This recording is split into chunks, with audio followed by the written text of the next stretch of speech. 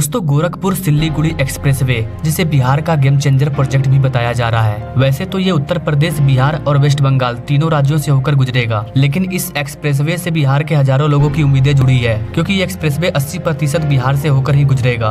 तो इस वीडियो में हम जानेंगे की ये प्रोजेक्ट इतना स्लो क्यों हो गया। भूमि अधिग्रहण में सरकार को क्या प्रॉब्लम आ रही है? इसका नया रूट उत्तर प्रदेश, बिहार और वेस्ट बंगाल के किन किन गाँव और शहरों से होकर गुजरेगा? भूमि अधिग्रहण कब स्टार्ट होगा? और सबसे बड़ा सवाल की इस प्रोजेक्ट की कॉम्पिटिशन डेट दो 2025 बताई गई है, और अभी तक भूमि अधिग्रहण शुरू भी नहीं हुआ है। तो क्या ये 2025 तक पूरा हो जाएगा? नमस्कार दोस्तों, मैं विकास और आप देख रहे हैं ऑल इंडिया अफेयर्स दरअसल गाइस यूपी बिहार और बंगाल ये तीनों घनी आबादी वाले क्षेत्र हैं। ऐसे में यहाँ पर जितने भी एक्सप्रेसवे लॉन्च होते थे, उनमें से आधा से ज़्यादा अधूरा रह जाता था, क्योंकि भूमि अधिग्रहण ही नहीं हो पाता था।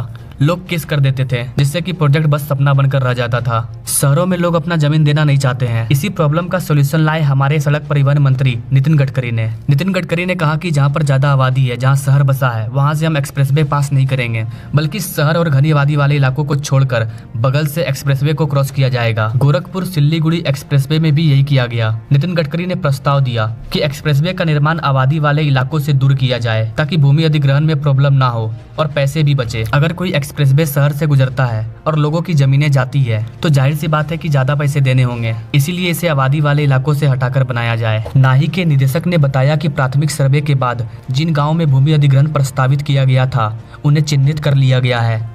लेकिन इसमें चेंजिंग हो सकती है। एक्सप्रेसवे को देखते हुए 60 से लेकर 100 मीटर की चौड़ाई में ज़मीन का अधिग्रहण किया जाएगा। ज़मीन अधिग्रहण शुरू होने में एक दो महीने का टाइम लग सकता है, यानी कि भूमि अधिग्रहण अभी स्टार्ट नहीं हुआ है। अभी सिर्फ़ ऑफिशियल वर्क कंप्लीट हुआ है। ज़मीन की खरीदारी बाकी है। गाइस गोरखपुर से सिल्लीगुड़ी जाने में 640 किलोमीटर की दूरी तय करनी पड़ती थी।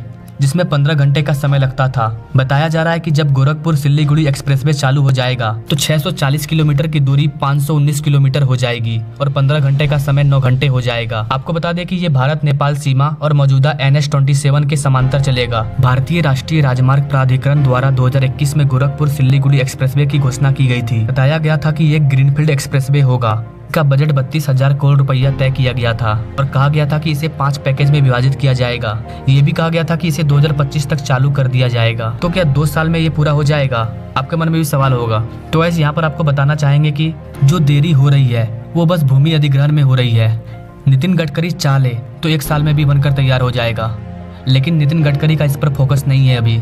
एक रीजन ये भी हो सकता है कि बिहार में मोदी गवर्नमेंट नहीं है। तो इसमें देरी हो रही है। चूँकि ये एक्सप्रेसवे 519 किलोमीटर लंबा है, जिसमें से 416.2 किलोमीटर सिर्फ़ बिहार से गुजरेगा। यूपी में 84.3 किलोमीटर और वेस्ट बंगाल में 18.97 किलोमीटर की दूरी तय करेगा। ये गोरखपुर के रिंग रोड से स्टार्ट होगा और बिहार के गोपालगंज में प्रवेश करेगा और अंत में पश्चिम बंगाल के दार्जिलिंग ज़िले के सिल्लीगुड़ी में समाप्त होगा। ये यूपी के तीन शहरों से होकर गुजरेगा। गोरखपुर, देवरिया कुशीनगर और बिहार में नौ शहरों से होकर गुजरेगा। गोपालगंज मोतिहारी शिवहर सीतामढ़ी दरभंगा मधुबनी, सुपौल फुरवेशगंज और किशनगंज। इसके बाद पश्चिम बंगाल के तीन शहरों से होकर गुजरेगा। इस्लामपुर, बागडोगरा से होते हुए सिल्लीगुड़ी में समाप्त हो जाएगा।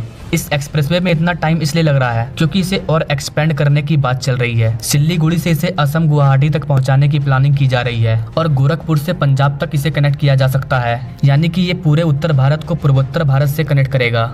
आप सोच सकते हैं, गाइस, ये कितना महत्वाकांक्षी प्रोजेक्ट होने वाला है। ये पंजाब दिल्ली से शुरू होगा और यूपी, बिहार, बंगाल होते हुए असम चला जाएगा। यानी कि असम से किसी को दिल्ली जाना है तो वो इस एक्सप्रेसवे से आसानी से जा सकता है, कम समय में। नाउ, जैसा कि मैंने आपको बताया, गोरखपुर सिल्लीगुड़ी एक्सप्रेसवे पाँच पैकेजों में बटा है। पहला पैकेज में गोरखपुर रिंग रोड से यूपी, बिहार सीमा तक सड़क का निर्माण किया जाएगा। चूँकि ये एक्सप्रेसवे बिहार में सबसे ज़्यादा गुजरेगा, इसलिए बिहार में तीन पैकेज में से बनाया जाएगा। पहले पैकेज में अररिया ज़िले के फुरबेसगंज में, जो पूरा पश्चिम गलियारा है। उस जंक्शन तक रोड का निर्माण किया जाएगा। तो दूसरे पैकेज में किशनगंज ज़िले में जो राष्ट्रीय राजमार्ग 327 है, वहाँ से बिहार, पश्चिम बंगाल सीमा तक सड़क का निर्माण किया जाएगा। तीसरा पैकेज अभी टीबीए है, यानी कि टू बी अनाउंस। तीसरा पैकेज अनाउंस नहीं हुआ है। पश्चिम बंगाल में भी एक पैकेज है, जहाँ बागडोगरा, दार्जिलिंग ज़िले में एन एच ट्वेंटी सेवन, यानी कि पूर्व पश्चिम गलियारा तक बनाया जाएगा। तो ये थी इस एक्सप्रेसवे की फुल डिटेल जानकारी। अगर इससे रिलेटेड कोई बड़ी अपडेट आती है, लाइक भूमि अधिग्रहण अगर स्टार्ट होता है तो मैं न्यू अपडेट पर वीडियो लाऊँगा। वैसे गाइस आपको क्या लगता है? क्या ये 2025 तक बनकर तैयार हो जाएगा?